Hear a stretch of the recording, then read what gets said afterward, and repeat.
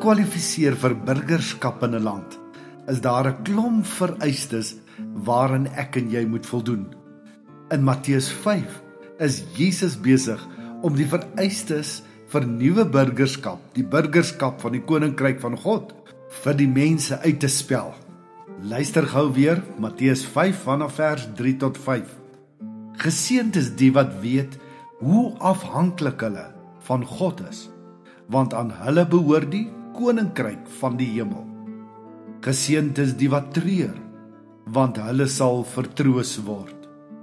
Geseënd is die sagmoediges, want hulle sal die nuwe aarde ontvang.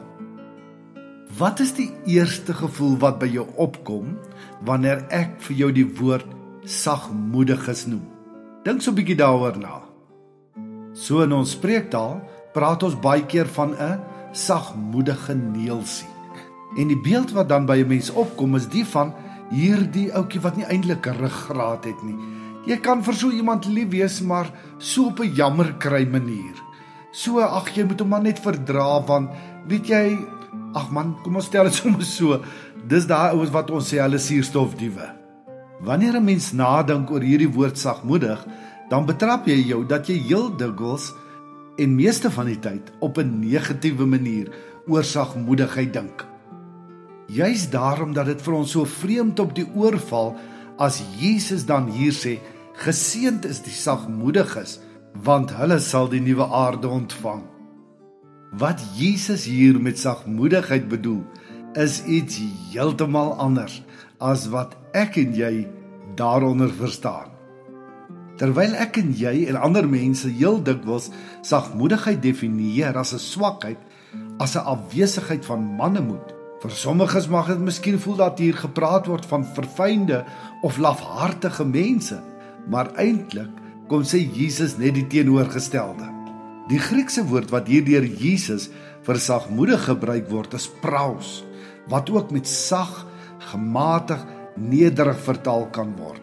Dieselfde woord word ook in Grieks gebruik vir streelende medisyne, 'n sagte briesie of 'n ingebreekte perd.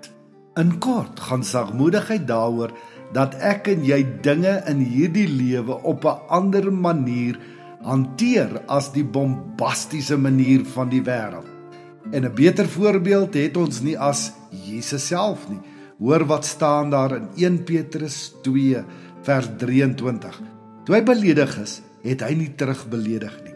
Toe hy gelei het, het hy nie gedreig nie, maar alles oorgelaat aan hom wat regverdig oordeel. Medisyne is slegs effektief wanneer ek en jy die voorskrif op die boksie nakom. Dan het dit 'n sagte en streelende effek.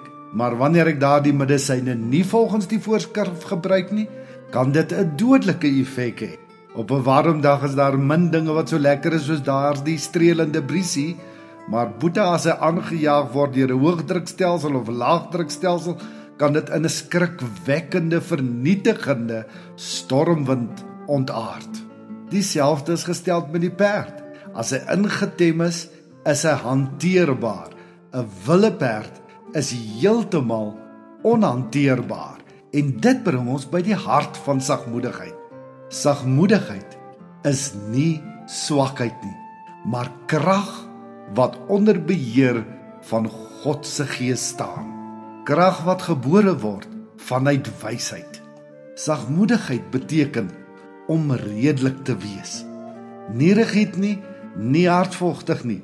Dit beteken dat jy nie 'n opinie vorm voordat jy nie al die inligting op die tafel het nie.